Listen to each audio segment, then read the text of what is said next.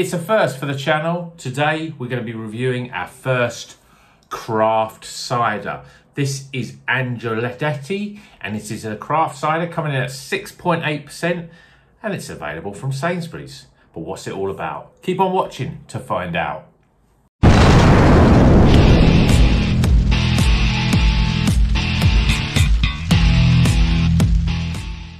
Welcome back to Rockers Cider Review. Yeah, we maybe we need to change the name or something, but I uh, just thought that I would do a couple of cider reviews because the weather is absolutely roasting at the moment. Um, and I, I, don't know if anyone caught the live stream or caught the catch up of that. Um, we were having a discussion with some of the other beer YouTubers that were on that uh, stream um, about cider. And I sort of said, well, I don't really know much about cider. I know the sort of traditional sort of stuff that you get, like your you know, your Scrumpy and your Thatchers and, and obviously Strongbow, those sort of commercial, but craft cider is such a thing exists. I'm sure it does exist.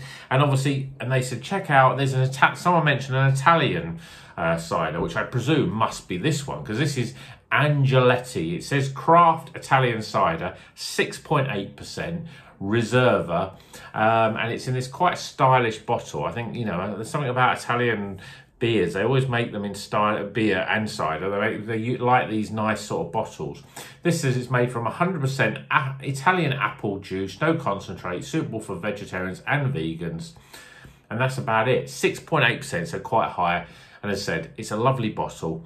And I think, you know, I don't know about you guys, but in the summertime, cider is the drink, really. It's the sort of real cutting refreshment. But obviously, there's a lot of you know, like there is with beer, you know, when I talk about your Fosters and Carling, you know, you guys don't really want to be drinking that sort of stuff or, or really hearing about it. So it's the same with ciders. I'm going to start reviewing things like, you know, Strongbows and, and, and those sort of much more commercial, mass-produced beer, uh, ciders.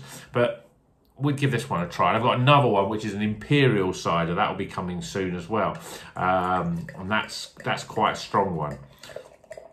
But certainly in a glass, it's very, very light. It looks pretty, uh, it's pretty clear. It's very, very sparkly.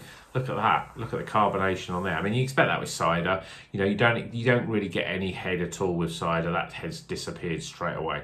But look at the bubbles in there. I mean, it's like it's like watching one of those snowy scenes, isn't it? Those sort of snow globe things. Lots of bubbles, very light and fairly clear. Now, I, I've probably thought that if it's a premium cider that you would be getting much more of the sort of more like cloudy sort of cider. 6.8%. Usually the higher the, the alcohol content, the lower the carbonation and the more sort of cloudy it is like a sort of scrumpy. But this looks pretty carbonated. Check that out. Okay, so let's get some aromas. Well, surprisingly enough, it smells a lot like apples. I mean, I'm not going to do scoring for the ciders because I think you know it's um, it's like you can you can you score them if I don't drink enough of them? It's difficult to benchmark benchmark them. But this certainly smells really really appley. Um, smells like cider, but there's a, there's something in there. There's a it does smell like a premium product. So let's taste it, shall we? Cheers, everyone.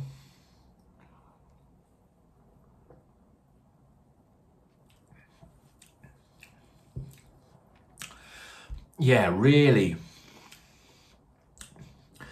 It's got that sort of almost like it's it's got although it's apple cider, it's almost got like a sort of pear aftertaste, like the like so it's almost like a hybrid of an apple and pear. There's not, there is no pears in it, but obviously there's lots of different types of apples, and a lot of those sort of I mean I don't I couldn't think off the top of my head what Italian apple is, but a lot of the ciders that you will see certainly um, in the supermarkets will be made with English apples, and they're usually made sort of down in the West Country in that sort of area, um, certainly in the southern part of the UK. This the it tastes a bit different than the normal ciders that I can I can remember.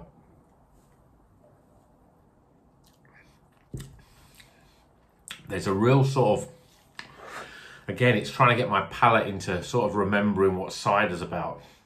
There's a sort of different sort of taste in there it's almost like a sort of a slightly more creamier sort of taste. Is that, would you say that? I mean,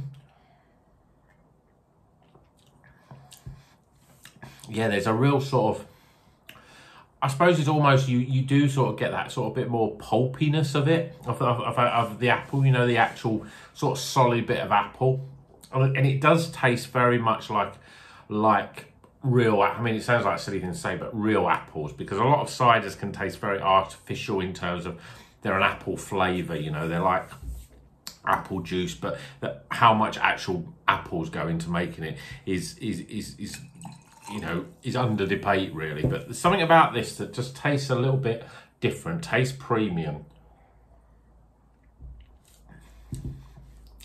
Yeah, it's almost like it's got a bit of a bit of a slight Chardonnay sort of flavour to it as well. You know, there's there's something a little bit different. There's there's a bit more than just your sort of apple juice sort of taste.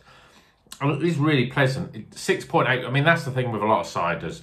I mean, and that's why reputation-wise, I know you know you guys out there may be the same, but you know when you start drinking as a younger age, you usually start drinking cider because it's you don't really get the alcohol flavour. You just it just tastes like apple juice, but slightly different.